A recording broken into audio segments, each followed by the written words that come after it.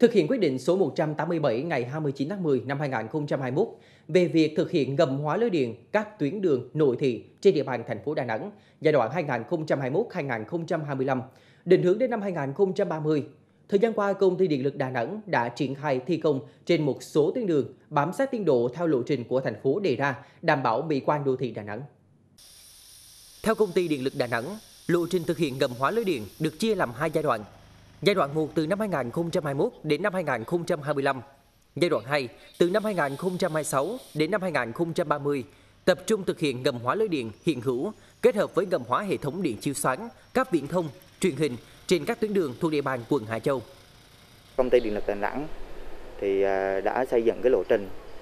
à, chuẩn bị à, các cái nguồn lực và bố trí vốn hàng năm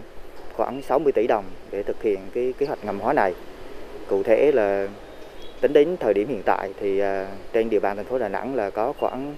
25% cái lưới điện đã được ngầm hóa đối với lại à, các cái khu dân cư, khu đô thị mới có yêu cầu về tính thẩm mỹ cao các cái tuyến đường chính của thành phố thì khi phát triển và xây dựng mới lưới điện thì công ty cũng sẽ đầu tư ngầm hóa lưới điện để mà đảm bảo cái tính thẩm mỹ trong khu vực. Để đảm bảo tiến độ, Điện lực Đà Nẵng đã huy động nhân lực triển khai công tác ngầm hóa lưới điện trên nhiều tuyến đường. Tuy nhiên, trong quá trình thi công cũng đã gặp không ít khó khăn vì vỉa hè các khu vực ngầm hóa có hạ tầng kỹ thuật bên dưới phức tạp với nhiều đơn vị quản lý nên cần sự phối hợp thống nhất giữa các bên. Đối với các tuyến đường có mật độ dân cư đông, việc chọn vị trí để các tủ kỹ thuật chứa thiết bị đóng cắt rất dễ gây phiền hà trong nhân dân. Nay là do ảnh hưởng của thời tiết à, mưa bão cho nên là à, khi thi công là dùng cấp ngầm mà ảnh hưởng trời mưa thì cũng phải là bảo vệ cáp cho ừ, đúng cái quy trình. Cái nữa thì à, hiện nay là do cũng à, tình hình à, dịch bệnh Covid ảnh hưởng đến phức tạp và kéo dài cho nên là đơn vị á, à, mặc dù á, cũng đã cố gắng thi công các công trình đảm bảo tiến độ ngoài ra còn phải là à, phục vụ cung cấp điện cho nhân dân và các doanh nghiệp trên địa bàn thành phố.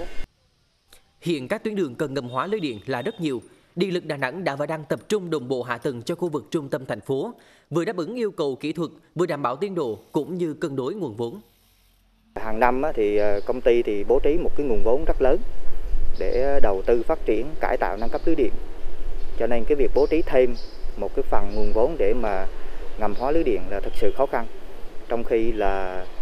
à, cái nhu cầu về ngầm hóa thì rất là nhiều thì à, công ty cũng à, rất mong là